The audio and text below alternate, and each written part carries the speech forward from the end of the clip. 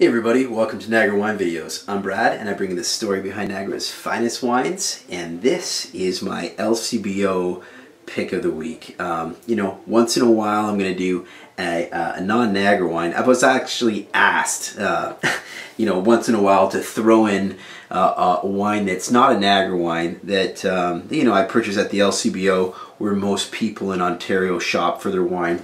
Uh, they said, hey, you know, why don't you mix it up, throw in a non-Niagara wine, let us know what you're drinking. Uh, so I got a really cool wine here. Uh, it's a really good price point. It's $14.95 uh, and it's named after uh, the small town or commune area where it's from in Italy uh, and it's called uh, Salice Salentino. So there is the label. Hopefully you can see it. And uh, this is a really neat wine because it comes from the region of Puglia or Puglia. Um, I'm not Italian, so I don't know how to pronounce it correctly. Uh, but this uh, Puglia region, or Puglia, is located right uh, at the very southern point of Italy, right in the heel of the boot. So you know, uh, there's a good picture of Italy there in the Wine Spectator. Uh, you can see um, can you see that? I'm on the other side of the camera, so I don't know if you can see it. Hopefully you can. Um, it It's a long boot, and in the heel you have Puglia, or Puglia. I think it's a silent G. Um, and in uh, the region of Puglia, at the very uh, end of the boot, you have this town, uh, Salice Salentino, which the, the wine is, is named after. Uh, and the grape varietal is called Negroamaro, uh, is what uh, most of the wines come from, that grape. Uh, but there's also another grape there called Malvasia Nero. So, you know, obviously I'm not pronouncing these uh, entirely correctly, but uh, so it's a blend of two of the native grapes that's growing in the south of Italy in the boot. Uh, in the town of Salice Salentino in the area or the region of Puglia. So very cool wine. Uh, you know, anytime you get an old world wine, um, yeah, they always have really nice structure and complexity, and they're always really dry, which I like. That that's what makes a um, you know a 90 point or higher wine for me. It's got to be structure, dry, uh, first of all, and then I like the flavor complexities. Uh, and this wine here um, on the nose is really really um, kind of complex for a um, you know a cheap wine, a $15 wine. Uh, on the nose,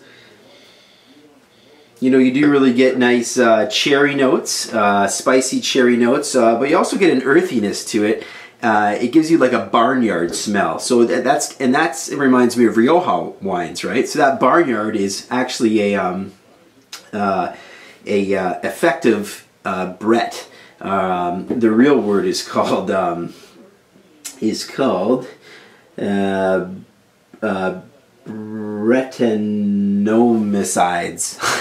okay, so anyway, Brett is a bacteria that forms uh, in the winemaking process, which gives it this uh, barnyardy smell, uh, which gives it kind of a complexity. Uh, a little bit of barnyard is nice. Too much barnyard kind of spoils everything, but a little bit of it is nice.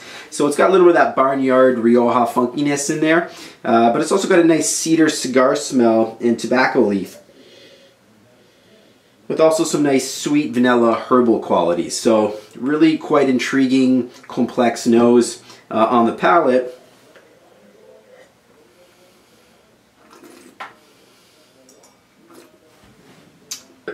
It's got a really neat dustiness, like really dusty. Like you took fresh, uh, you know, wood shavings, like sawdust, threw it in your mouth. You really get a dustiness.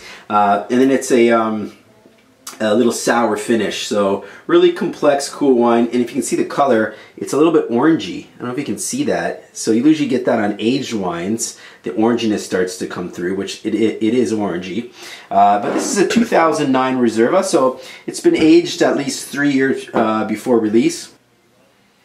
Uh, the wine is uh, light to medium bodied, so you have to know what you're getting into. This is not a full bodied wine. Uh, it's also not super dry, like it's not going to you know rip your mouth apart. Um, it it, uh, it, drinks more like a classic Rioja. It's got more elegance and uh, I'd say gracefulness to it. So it's definitely, my notes I put light bodied, but um, you know, you can get wines that are way lighter than this. So it's light to medium bodied, but really neat wine. Um, really, really cool uh, old world rustic type of wine with some, you know, elegance and class to it. So the producer, Taurino, uh, the region where the wine comes from, Salice Salentino, uh, Reserva 2009 uh, from Puglia, the boot, the heel of the boot in southern Italy. Really neat wine. That is your LCBO Wine of the Week.